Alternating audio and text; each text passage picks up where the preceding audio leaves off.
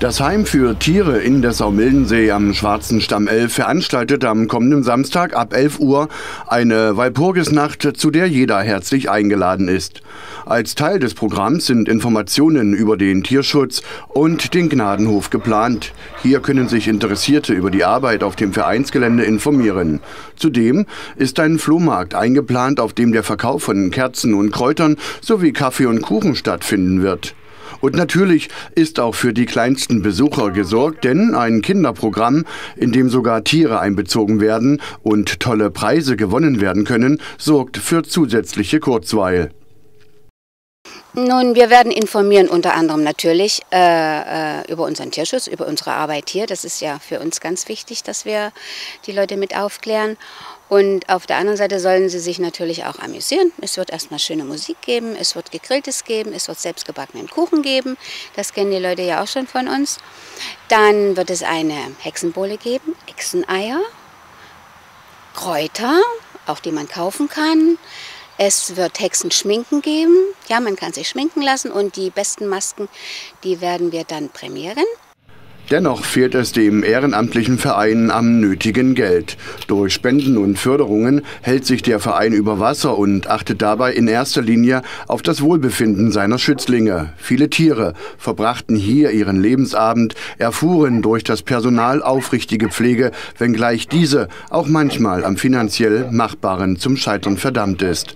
Erst kürzlich ging ein schwerkranker Hund über die Regenbogenbrücke, wie sie bei den Ehrenamtlichen genannt wird. Wir erhoffen uns ganz viele interessierte Besucher, ja, weil ja der Erlös, was man hier kauft, erwirbt, gewinnt, immer unseren Tieren zugutekommt. Und das ist im Moment sehr, sehr notwendig. Wir haben drei ganz spezielle Fälle. Ähm, ein Hund, den wir aus der Tötung aufgenommen haben, der mit einer ganz speziellen Krankheit zu uns gekommen ist, was wir jetzt erst festgestellt haben.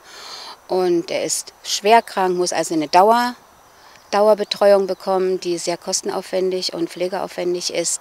Machen wir aber gerne.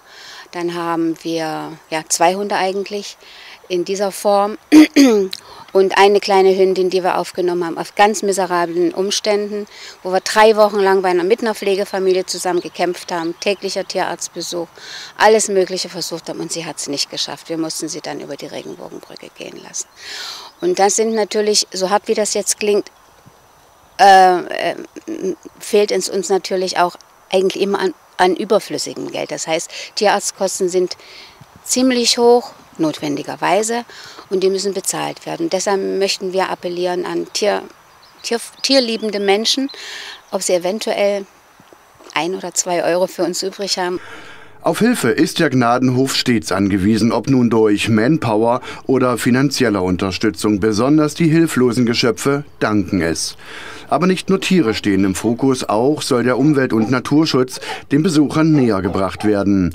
Um mehr über den Gnadenhof in Dessau-Mildensee zu erfahren, lohnt sich der Besuch am 26. April auf jeden Fall. Und wer weiß, vielleicht finden Sie ja dabei einen fälligen Partner, dem Sie Ihre Aufmerksamkeit schenken können.